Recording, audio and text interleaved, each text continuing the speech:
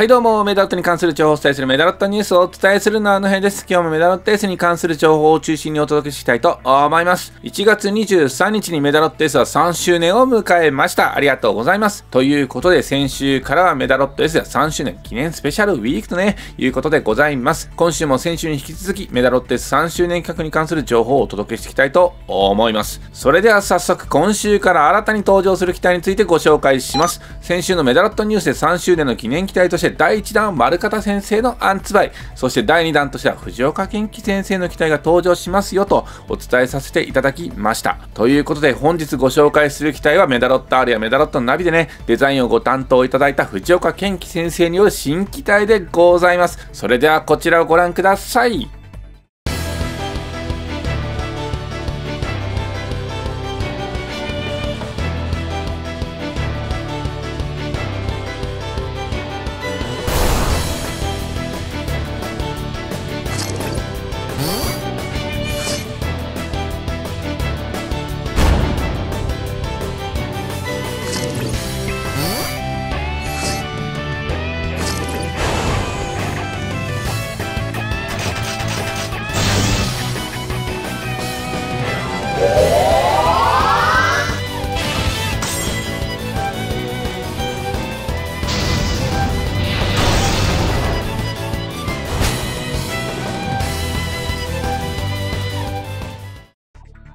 い、ということで今週から新機体クロイツバイさんが実装されます。ピックアップガチャの日程は2月2日の木曜日の15時から2月16日木曜日の14時59分の2週間の開催となっております。いやー、めちゃくちゃかっこいいですよね。今回藤岡健樹先生に機体デザインをご相談するにあたってお願いさせていただいたテーマが藤岡健樹先生による KX 型、つまり株クワ型のね、新機体を作りたいんですということだったんですよね。イメージとしてはこれだというものは全くなくて、例えばグランビートルとソニックサックのね、進化系といったようなものがね、来るのかなみたいなことを想像していたのですが、先生から上がってきたね、最初のラフでね、正直感動してしまいまして、まあこれはね、クワガタバイザンだぞと、そしてこの右腕のパーツは漫画版のね、バイザン君がイマジンカイザーを倒したやつだぞとね、いろいろと先生のデザイン意図を知るにつれて、これこそ藤岡健一先生の株クワガタだと納得したわけでございます。が実は私の方で一つ想定してないことがありまして、なんとこの機体ね、メダチェンジするんですよね。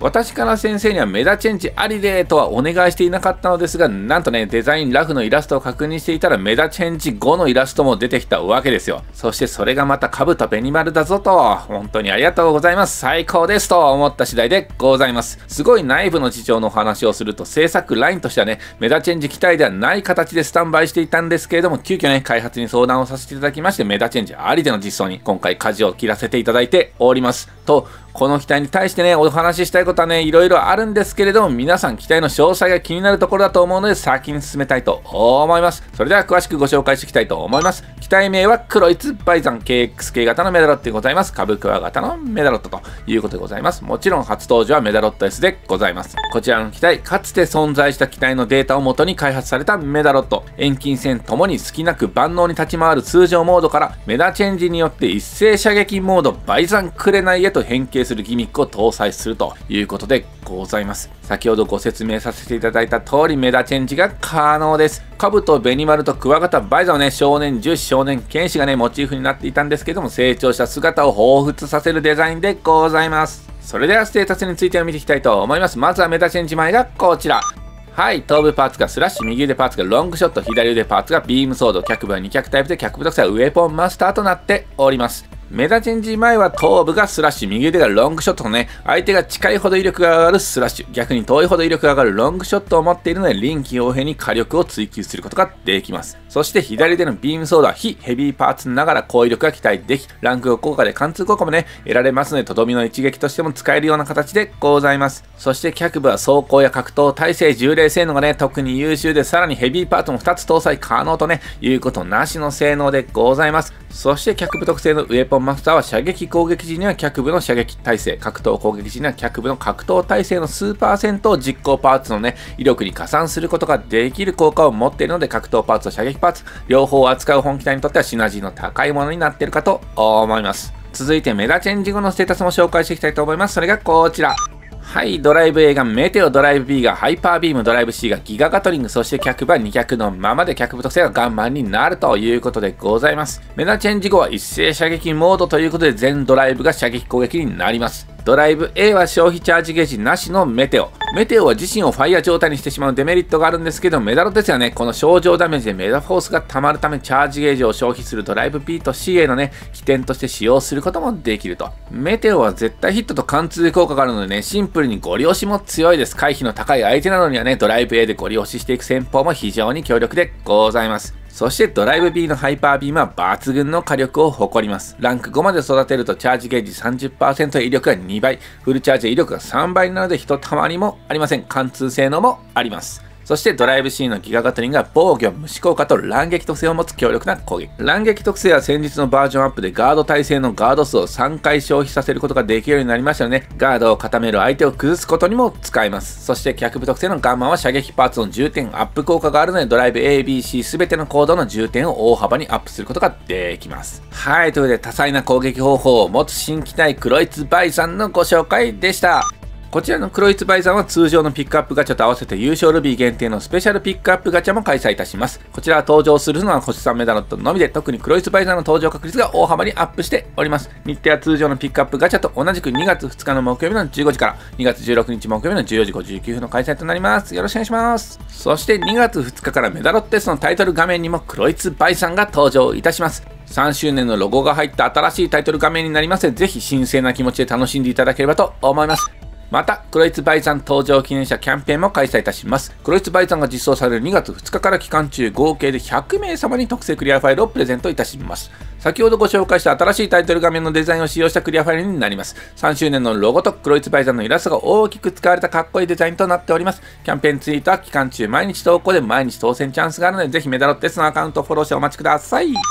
さらに今週からクロイツバイザンをはじめとした強力なメダロットたちが登場する期間限定の超襲来、メダロット S サードアニバーサリーも登場いたします。日程については2月の2日の木曜日の15時から3月31日の金曜日の23時59分までの期間限定の開催となっております。クロイツバイさんやクロスメサや Z が登場するチーム KXK、悪魔型大集合、メダロット探偵などね、様々な編成のメダロットたちとの10戦勝負となります。クリアをするとルビアサイプラシウム合金、そして称号、祝3周年がね、もらえます。3周年を記念した期間限定のメモリアルな超襲来となるので、ぜひ挑戦してください。登場する機体たちも、これまでのメダロット S の歩みを象徴するような機体になっているので、そこも楽しんでいただければと思います。また、今週はホワイトグレンのピックアップガチャを開催いたします。メダロット S のメインストーリーで試練が連れていた機体でございます。現在開催している3周年記念イベントのシナリオにて、試練をはじめとしたゲーム版メダロットナビのね、キャラクターたちが活躍しているということで、ホワイトグレンのピックアップガチャが再登場となりました。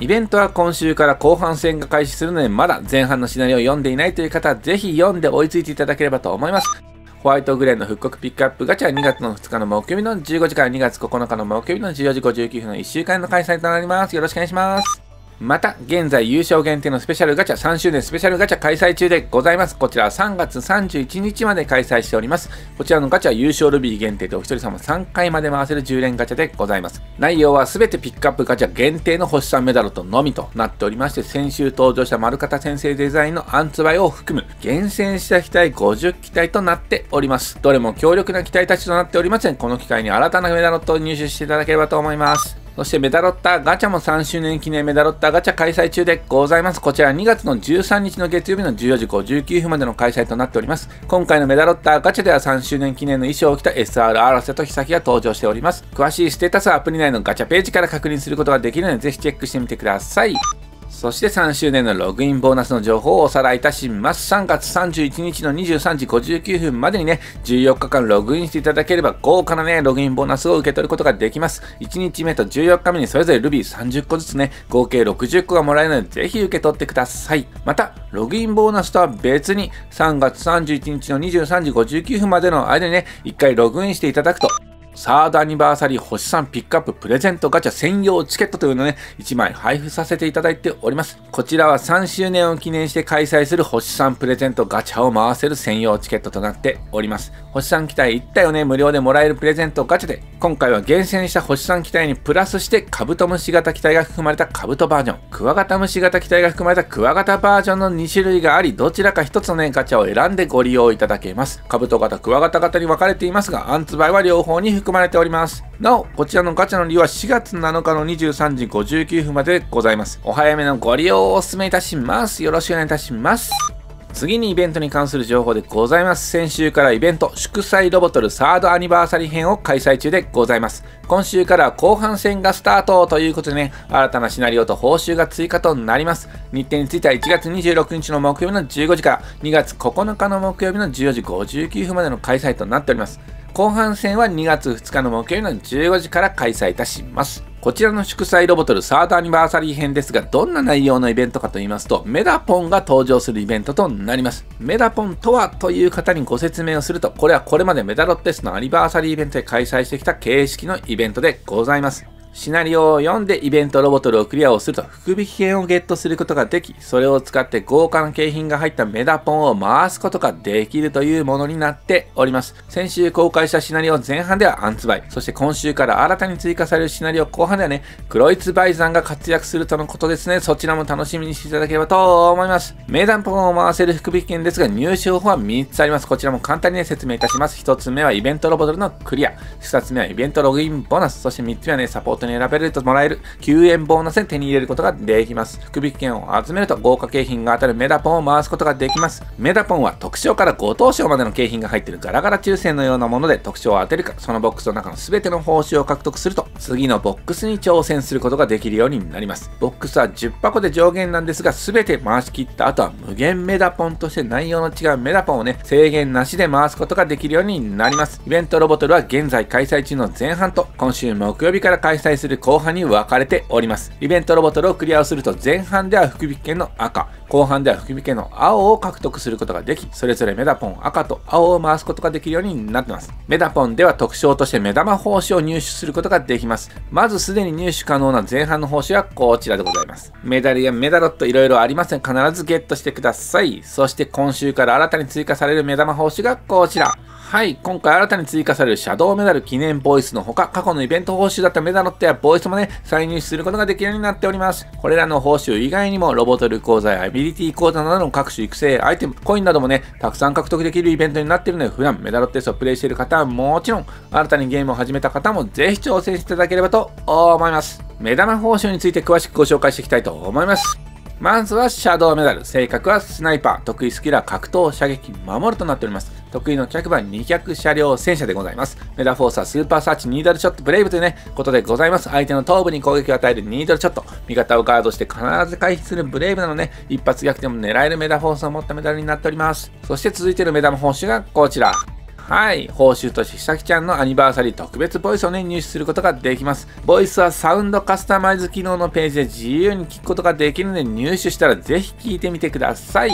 そして過去のイベント報酬だったメダロットも再入手することができます。今回登場するのは昨年開催した3つのイベント。その報酬として入手可能だったメダロットたちでございます。サンウィッチ、〇〇モルモン、ミリバイアさんとね、非常に優秀で可愛い機体たちがね、揃っております。過去のイベント報酬を再入手できる機会は限られているので、まだ入手していないという方は、ぜひこの機会に入手していただければと思います。同様に過去、イベント報酬などで配布されたボイスもね、再入手することができるようになっております。すでに入手済みの場合はコインに変換されます。ぜひゲットしてください。はい。ということで、ここまでがイベントの目玉報酬についてのご紹介でした。今回のイベントでは、福引券赤、福引券青を効率的に集められるボーナス対象メダロットとメダロッタが設定されております。まず、現在すでに入手可能な福引券赤のブースト対象がこちら。はい。先週のニュースでもご紹介した内容でございます。詳しくはアプリ内の方でもご覧ください。そして今週から新たに登場する福井県青のブースト対象がこちら。はい、メダロッタ、クロイツバイザン、カブトベニマル、クワガタバイザン、ホワイト、グレン、サンウィッチ、マルマルモルモ、ミリバイアさん、フロートスピナー、海賊ロベ、金太郎でございます。メダロッタ、久木かすみひよりでございます。ブースト対象を編成に含み込んでいると入手できる福引券が増加いたします。イベント報酬として入手できるメダロットだったり、今週開催する激闘ロボットへの期待たちもね、ブースト対象となっております。詳しくはアプリ内のお知らせの方をご確認ください。よろしくお願いします。以上、イベントに関する情報でした。次に、パーツチューンアップ対応機体追加に関する情報でございます。今週は新たに、カブトベニマルとクワガタバイザンがパーツチューンアップ対応機体に追加されます。新機体としてクロイツバイザンが登場したことに合わせて今回この2機体が追加となりました。まず、カブトベニマルの強化項目がこちら。はい、頭部のファイヤーは威力が最大でプラス400、充填冷却もそれぞれ100とね、ステータスの大幅アップが可能でございます。また、技強化でファイヤーの継続ダメージをね、増やすことができます。両腕のガトリングもね、装甲が最大プラス500と大幅アップ、威力も強化が可能となっております。次に、クワガタバイザンの強化項目がこちら。はい、両腕のビームソードは装甲と威力充填冷却のステータスアップが可能です。さらに技強化によって威力2倍になるための必要チャージゲージがマイナス20になるということで、ランク5だとチャージゲージ10でね、威力2倍の恩恵を受けることができるということでございます。脚部も装甲回避10連のステータスアップと扱いやすい項目が揃っているので、ぜひ自分なりにカスタマイズしていただければと思います。今回のパーツチューンアップ追加と同時にカブトベニマルとクワガタバイザンのピックアップガチャも再登場いたします。日程については2月2日の木曜日の15時から2月9日の木曜日の14時59分の1週間の開催となっております。気になる方は復刻ピックアップガチャに入手してぜひチューンアップにも挑戦してください。次にその他の更新情報でございます。今週の激闘ロボトルはフロートスピナー海賊ロベ金太郎が登場いたします。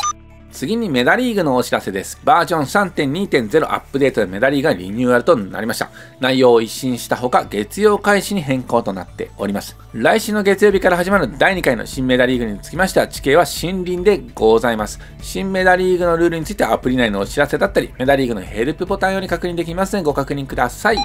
次にオンラインエキシビションについてのお知らせでございます。2月2日からオンラインエキシビションシーズン4を開催いたします。今回のシーズン4で入手できるシーズン報酬限定となるカスタムスキンがこちら。はい、さらしな姫の鬼武者バージョン、ガートアルパルの雪猫バージョン、カーリーベールのパティシエバージョンとね、いうことでございます。メダロット S のストーリーでもね、ヒロインたちのパートナーとして登場している女性型メダロたちのカスタムスキンとなっております。ぜひ挑戦して入手してください。早いものでもう1月も本日で終了ということで、2月のスケジュールについてお知らせしたいと思います。まずは激闘ロボトルのスケジュールがこちら。はい、2月16日に登場するクイーンベスパが初登場でございます。こちらね、一度登場するって言ってからね、ちょっと時間が経ちましたが、大変お待たせいたしまして実装でございます。ステータスなどについては登場週のメダロットニュースの方でご紹介したいと思います。次にメダリーグのスケジュールがこちら。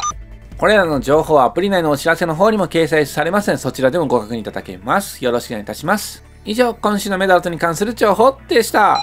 現在メダロット公式 YouTube チャンネルにてアニメのメダロットを無料配信中でございます。毎週月曜日に20時に1話ずつ公開しておりまして、昨日は第9話、ホエロシアンドッグを公開いたしました。メダロット S ではアニメ公開と連動し、昨日からシアンドッグが激闘ロボトルに登場しております。さらに、月曜日にログインをすると Ruby1 個をプレゼントするキャンペーンも行っているので、ぜひアニメを見る、メダロット S でログインボーナスをもらうをね、毎週月曜日の習慣にしていただけると嬉しいです。そして今回も概要欄から Ruby1 個を受け取るキャンペーンを開催しております。プレゼントコードは SNS などにアップしないようよろしくお願いいたします。それではまた来週もよろしくお願いします。以上です。ロボトル、ファイト